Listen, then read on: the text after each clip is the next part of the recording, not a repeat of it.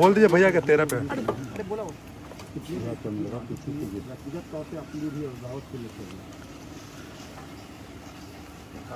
रघुवंश बाबू जी हम सब लोगों के अभिभावक रहे और पार्टी को एक मज़बूत स्तंभ, प्रखर समाजवादी नेता गरीबों की आवाज़ और ख़ास तौर पे हमारे पिता से जो संबंध रहे उनके। पिता के नहीं रहने के बाद जो मार्गदर्शन, जो गाइडलाइंस जो उनका रहा, हम कभी अपने आप को अकेला नहीं समझते थे। आज उनके निधन की खबर सुनकर के हम लोग सब लोग जो है मरमाहत हैं, दुखी हैं। और, कोई शब्द नहीं है जिस शब्द को हम लोग जो है व्याख्या कर सकें। लेकिन लंबे समय से कोरोना पॉजिटिव होने के बाद तो निमोनिया की भी शिकायत थी तो पटना के एम्स में जब भर्ती हुए तो हमारी बात हुई। डॉक्टरों से भी बात हुई हम लोग सब लोग कामना करते थे कि जल्दी स्वस्थ होकर के ठीक होकर के वापस आए। फिर आनंद फानंद में जब दिल्ली गए हमारी जब बात हुई जब वो दिल्ली जिस दिन एम्स में एडमिट हुए उस दिन भी हमारी फ़ोन पे उनसे चर्चा हुई बात हुई। पूरी बॉडी चेकअप कराने के लिए वो दिल्ली गए थे। टेस्ट रिपोर्ट आना था। और कुछ चंद दिन पहले जो है हम दिल्ली उनसे ख़ास तौर पे मिलने गए थे, दिल्ली के एम्स में, और हमारी मुलाकात भी हुई थी। लगभग डेढ़ दो घंटा हमारी उनसे मुलाकात हुई। हर एक बिंदुओं पे उनसे चर्चा की गई। और हमने उनसे यही कहा कि आप जल्द स्वस्थ होकर के आप जल्दी वापस आइए। उन्होंने यही कहा कि हम जल्द स्वस्थ होकर के हम आएँगे। और बिल्कुल अकेला करके चले गए हम लोगों को। ये हम लोगों को ये उम्मीद ही नहीं थी कि इतनी जल्दी ये खबर आएगी। लेकिन हालाँकि हमारी जो डॉक्टरों से जो बातचीत लगातार चलती रही उनसे तो हमको जो डॉक्टरों ने वहाँ के बताया कि उनको लंग्स कैंसर की समस्या रही ये बात पता थी लेकिन जो है पब्लिक पे ये मैसेज ना जाए कि उनको लंग कैंसर है। क्योंकि इलाज जो है वो चल रहा था। इसलिए हम लोगों ने इसकी चर्चा कहीं नहीं की। और हमारा कर्तव्य बनता था, फ़र्ज़ बनता था कि उनसे मिले, क्योंकि ऊर्जा का केंद्र रहे वो।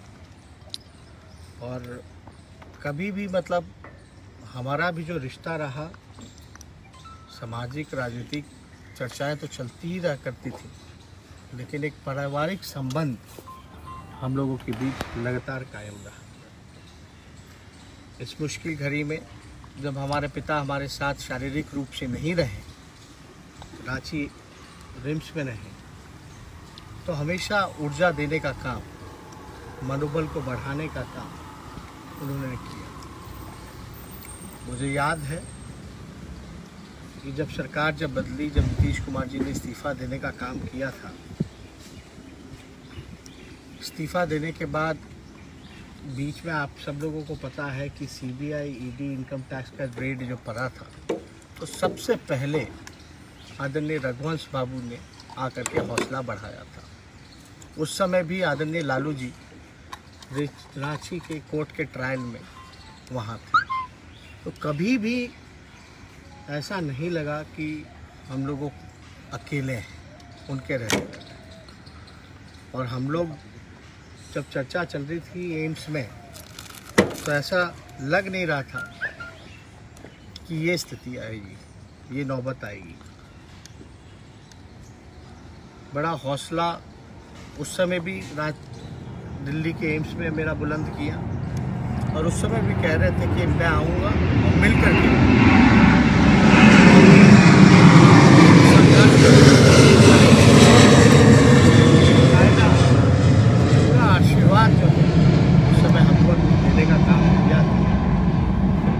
लोगों को भी लगता था कि रघुवंश जी जल्द ही अपनी बीमारियों से रिकवर कर करके अपनों के बीच आएँगे आप लोग सब लोग जानते हैं कि उनका राजनीतिक अनुभव जो रहा है बड़ा लंबा रहा है।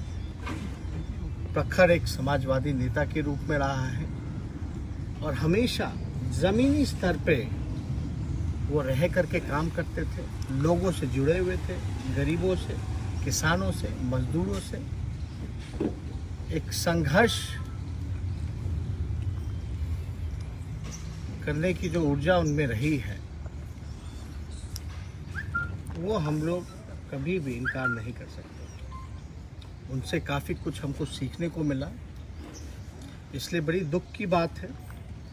अभी हमारी उनकी पुत्र से भी बात हुई, जब ये खबर न्यूज़ चैनलों में चल रहा था कि रघुवंश बाबू नहीं रहे तो यकीन नहीं हो रहा था हमको। उनके पुत्र सत्यप्रकाश जी से हमारी बात हुई है। और, इस बात को लेकर के सब लोग जो है मरमाहत हैं। तो इसमें को हम चाहेंगे कि उनकी आत्मा को जो है शांति मिले। और इस दुख की घड़ी में हम उनके परिजनों के साथ, मजबूती के साथ खड़े हैं। और जो रघुवंश जी का जो सपना था, उसको आगे ले जाने का हम लोग काम करेंगे।